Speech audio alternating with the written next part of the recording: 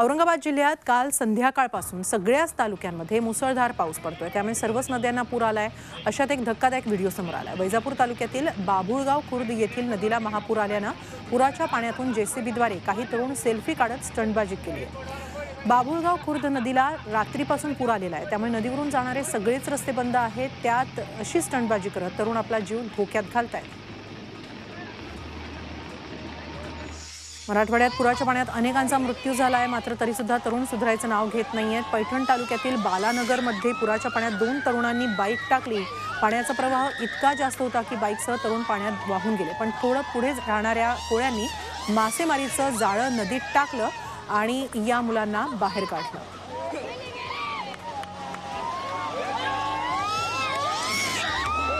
पावसामुळे अनेक नदी नाल्यांना ओढ्यांना पूर आलेला आहे. पुलांवरून पाणी वाहत आहे आणि अशातच या पुराच्या पाण्यात बाईक घालण्यासारखं धाडस केलं जातं यात जीवही जाऊ शकतो हे भान ठेवायला हवं.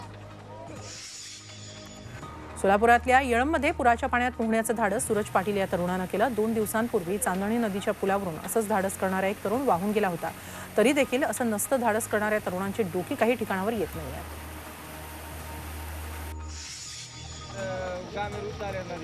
जालन्यातल्या गुंगडे हातगाव तीर्थपुरी रोडवरच्या नाल्यात मोटरसायकल वाहून गेली. सुदैवानं दुचाकी स्वार मात्र वाचला.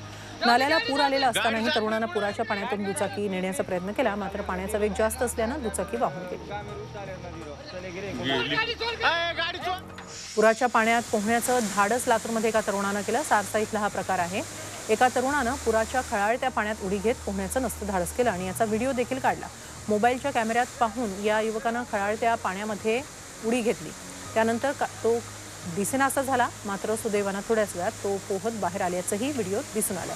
या घटनेनंतर लातूर जिल्हाधिकाऱ्यांनी पुराच्या पाण्याजवळ जाऊन व्हिडिओ फोटो सेल्फी काढण्याचं धाडस करू नये असं आवाहन केलं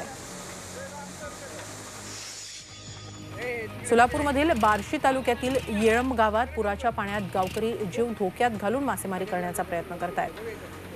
मासे पकडण्याच्या नादात एखाद्याचा पुराच्या पाण्यात वाहून मृत्यू देखील होऊ शकतो. मात्र गावातील काही मंडळी मासेमारी करण्याचा धोकादायक प्रयत्न करताना दिसत आहेत प्रशासनानं देखील या परिस्थितीकडे लक्ष देण्याची गरज आहे.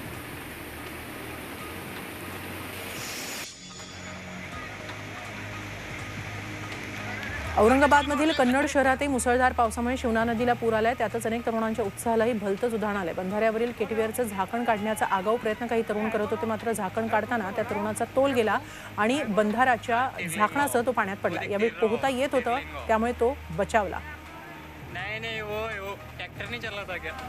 वो देख रायगड जिल्ह्यात खोपोलीजवळ नाल्यात वाहून गेल्यानं तीन महिलांचा मृत्यू झाला. दोघींचे मृतदेह हाती लागलेत. मात्र बारा वर्षांची मुलगी अजूनही बेपत्ता आहे. झेनीत धबधब्याजवळची ही दुर्घटना आहे.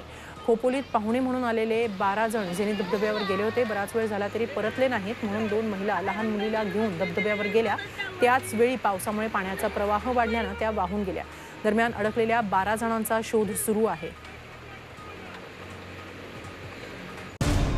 मराठ्यांची तळपती तलवार म्हणजे